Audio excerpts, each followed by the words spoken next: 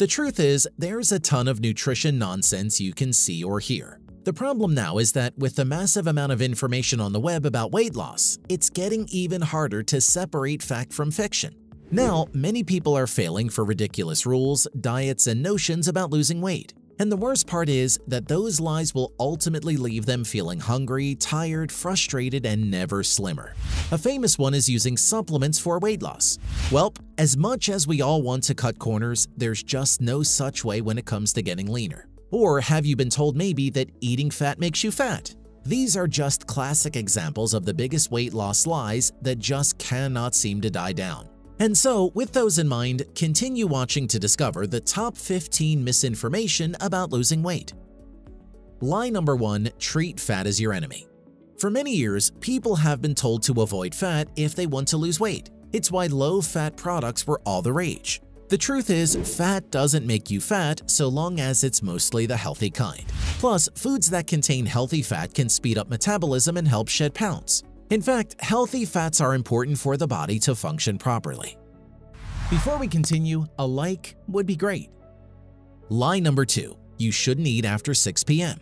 Many of us have heard that eating at night forces the body to store the food as body fat because during this time the body isn't doing enough activity to burn it all off. What people fail to realize is that the human body never stops burning energy for fuel. It is, after all, what keeps us constantly alive. Besides, it's absurd to think that the body starts turning food into body fat just because the clock strikes at 6 or 8 in the evening. So no, there's no magic time to stop eating.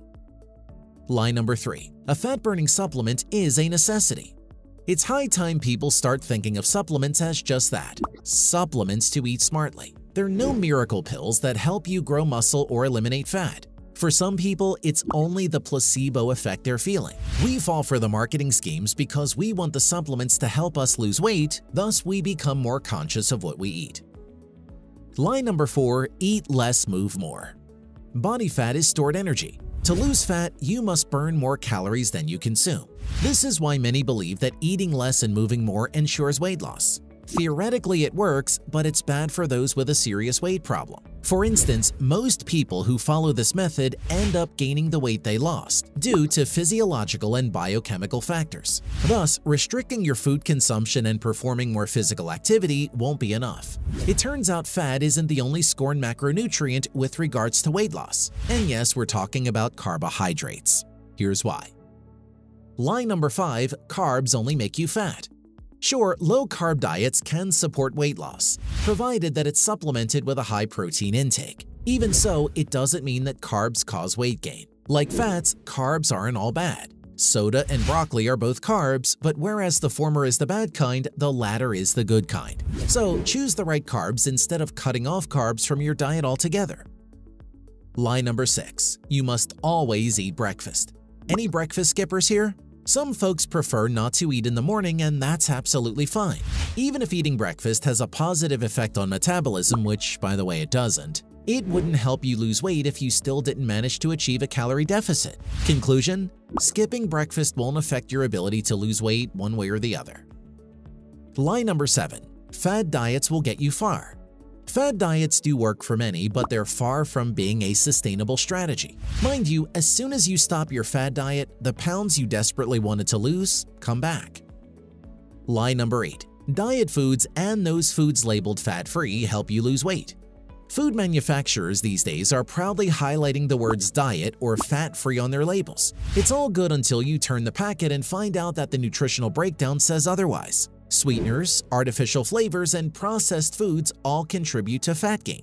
To top it off, these foods are likely packed with empty calories. Do you know what's best for you? Stick to the real fat-burning nutrition of healthy, fresh foods. Eating a whole bag of chips is fine because you're going to work hard in the gym later anyway. Unfortunately, out-exercising a bad diet is a huge lie. Lie number 9. Exercising will make up for a bad diet. What happens in the kitchen cannot be made up in the gym. Exercise is an important part of weight loss, but you can easily sabotage your efforts by eating foods like fried meats, processed snacks, and sugary drinks. Nutritious foods can absolutely fuel a good workout. That said, if you want to make up for what you've consumed, then you need to be in the gym for hours upon hours every day to come close to burning all those calories. Lie number 10. The longer your gym session is, the better the results. When training in the gym, what matters most is the quality of your workout session, not the duration. You can spend up to 4 hours slaving away in the gym but still not get the results you want because you simply don't know what you're doing. In fact, exercising more than an hour isn't recommended as it increases the risk of injury. With the right workout routine as short as 15 minutes per session would already suffice. Lie number 11. Going gluten-free will make you lose weight.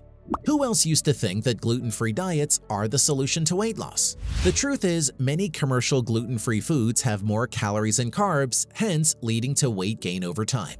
Furthermore, these foods are often lacking in fiber, making you less satisfied, which in turn leads to more overeating. When done properly using whole non-processed foods, gluten-free diets can result in weight loss. Having said that, they shouldn't be used solely for weight loss. Line number 12, cheat days are good. Clearly, indulging in greasy foods and sweets won't help you reduce your weight, but the main problem with this philosophy is that it paints your eating habits in a bad light. In a way, it makes your new healthy habits a restricted temporary diet instead of an optimally healthy way of eating long-term. You should consider your nutrition and diet as a lifestyle you follow to look and feel best, rather than limitations that you're constantly trying to break free from. Stop counting calories and start paying more attention to what you eat instead. Why? Check out the reason in the next couple of seconds. Lie number 13. You need to count calories.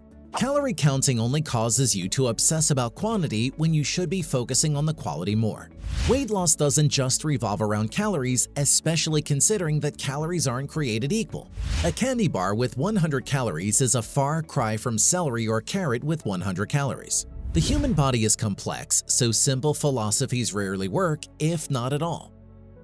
Lie number 14. You may eat as much healthy food as you want. Eating too much food, no matter how healthy those foods are, isn't good either. Sure, having a healthy balanced diet is essential. However, you can also overeat even the healthiest foods like veggies. Healthy or unhealthy, all foods contain calories and too much of any nutrient will only cause the body to store that excess energy as fat. Lie number 15. Going hungry will lead to weight loss. Skipping meals and snacks to lose weight is never going to work. Instead, it'll just make you irritable and frustrated and go off your diet and quickly regain the weight.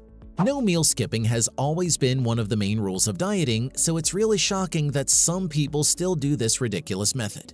Anyway, doing so makes your body hold on to fuel more efficiently by slowing down its metabolism and often triggering overeating, usually the wrong foods, at that later in the day. While the internet is indeed a splendid place to keep yourself informed, it's also a bad place if you're too trusting. Were you also a victim of those lies? How do you feel now after watching this video? Comment your two cents below to share them with the community. If you liked the video, give it a thumbs up.